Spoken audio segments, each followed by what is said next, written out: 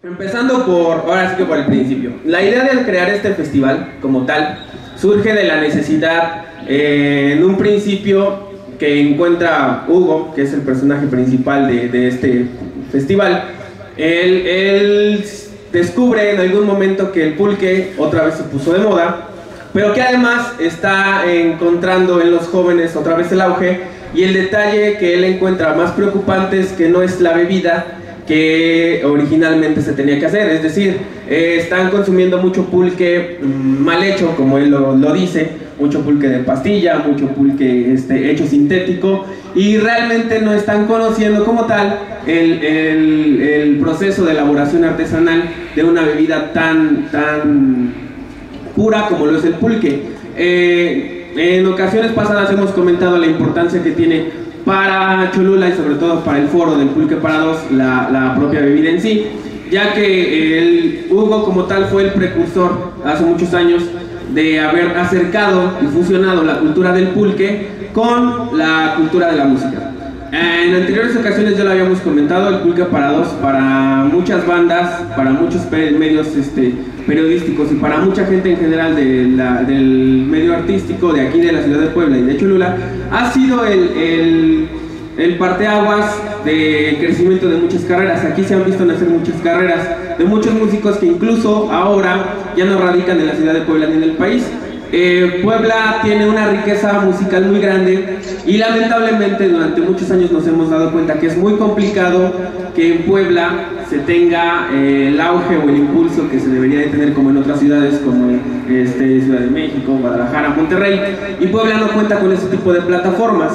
Entonces, eh, la idea de crear el festival es el, realizar por primera vez un festival 100% poblano, 100% cholulteca, con la intención de empezar a generar esa plataforma importante que necesita Puebla, en este caso Cholula, como espacio, este, para poder comenzar eh, la creación de un festival ya de manera internacional, que sea una buena plataforma para los chicos que se están presentando, que sea un parteaguas para generar nuestra propia... Este, nuestro propio festival grande, porque digo, al final lo que en alguna ocasión platicábamos, este, si nosotros como consumidores vamos a festivales de marcas de cerveza y gastamos una buena lana por ver a bandas en donde a lo mejor te meten uno o headliners que son bandas ya importantes, pero de repente también te meten mucha escena local en donde son gente que les dan la oportunidad de crecer, pues ¿por qué no hacer lo mismo en Puebla? No? ¿Por qué las marcas, por ejemplo, comerciales, no se han fijado que Puebla tiene mucho talento? Nosotros es algo que defendemos mucho, siempre defendemos a los músicos y decimos, ¿por qué los músicos de Puebla no han logrado tener a lo mejor el auge que en otros lugares los mismos músicos, por ejemplo, Ciudad de México es una plataforma enorme eh, ahí mismo y para rolar dentro del país y para rolar fuera del país. Asimismo, la idea de, del Pulca para dos siempre fue y siempre ha sido eh, la cuestión de la fusión cultural. Este, Hugo siempre ha sido una persona que ha procurado tener ese acercamiento con la poesía, con la fotografía, con la pintura, con la música y de esa manera es como él fusiona el rescate de las tradiciones mexicanas, pero además también incluye en este festival eh, la obviamente muestra fotográfica con la participación de Gabriela, este, incluye también eh, participantes de otros estados como este,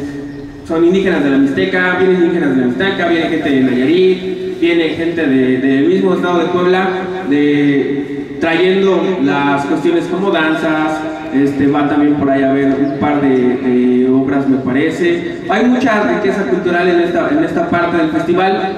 complementado con la gastronomía, que es la idea de tener un espacio gastronómico distinto, este, y además el maratón musical, ¿no? el maratón de rock, que es lo importante. Este, hasta este punto es la información que les puedo yo